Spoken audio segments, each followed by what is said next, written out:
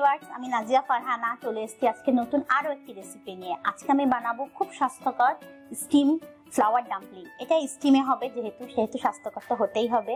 চলুন দেখে নিই এটা বানাতে কি কি ইনগ্রেডিয়েন্টস লাগছে। মুরগির মিহি কিমা দেড় কাপ মিক্স মশলা দুই চা চামচ, শুকনা মরিচ গুঁড়া আধা চা চামচ, গরম মশলা গুঁড়া ওয়ান ফোর চা চামচ, পেঁয়াজ কুচি এক কাপ, লেবুর খোসা কুচি এক চিমটি, লবণ পরিমাণ মতো, পানিতে ভিজানো বাসমতি চাল একটা জর্দার রং সামান্য। আমি এটা পরিবেশনের জন্য ব্যবহার করব। আপনারা চাইলে নাও দিতে পারেন। আমি প্রথমে এর মধ্যে মুরগির কিমাটা নিয়ে নিচ্ছি। আপনারা চাইলে কিন্তু এটা মাছ বা গরুর গোশ দিয়েও করতে পারেন।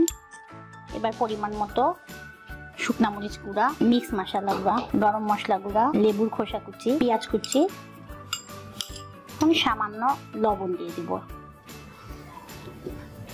এটাকে ভালো করে মাখাতে হবে। জাস্ট আমার এটা মাখানো হয়ে গেছে। আমি এখন এটা কোপ্তার মতো ছোট ছোট গোল করব। এরকম করে ছোট ছোট গোল গোল সাইজ করে নেব।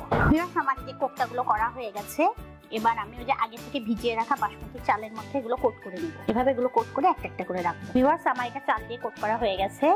আমি এখানে আগে যেমন বলেছিলাম, সামান্য একটু করে উপরে জর্দার রংটা ছিটিয়ে দিব। আপনারা চাইলে নাও দিতে পারেন। নিয়ে এবার আমি এটাকে স্টিমারে স্টিম করতে দিয়ে দিব। ভিউয়ার্স আমি এখানে একটা হাঁড়িতে পানি গরম দিয়েছি আর স্টিমারটা বসিয়ে দিচ্ছি, আমি এই স্টিমারে এটাতে স্টিম করব। আপনাদের বাসায় যদি স্টিমার না থাকে, এটা তো প্লাস্টিকের, আপনি চাইলে স্টিলের স্টিমারও করতে পারেন। আর যদি স্টিমার না থাকে, সেক্ষেত্রে আমরা ভাপা পিঠা যেভাবে বানাই দ্যাট মিনস হাঁড়ির মধ্যে কাপড় দিয়ে তার উপরে উপরে বলগুলো বসিয়ে ঢাকনা দিয়ে ঢেকে দেওয়া, সেভাবে আমরা করতে পারি। একটা একটা করে দিয়ে দিব। যেহেতু আমার এই প্লাস্টিকটার মধ্যে তেল ব্রাশ করা লাগে না, সেক্ষেত্রে আমি তেলটা ব্রাশ করছি না। কিন্তু আপনারা যদি স্টিলের স্টিমারটা ইউজ করেন, সেক্ষেত্রে একটু তেলটা ব্রাশ করে নেবেন। এটা একটু ফাঁক ফাঁক করে দিবেন, কেননা চালটা ফুলে বড় হয়ে যাবে তো, তখন একটা গায়ে একটা লেগে যাবে। আমি এবার এটা ঢেকে দিচ্ছি। ঢেকে আমি এটা পনেরো মিনিটের জন্য স্টিম হতে দেবো। ভিউয়ার্স আমার এটা রেডি হয়ে গেছে। আমি এখন এটা গরম গরম সার্ভ করব দেখেন, আমার খাবারটা রেডি হয়ে গেছে।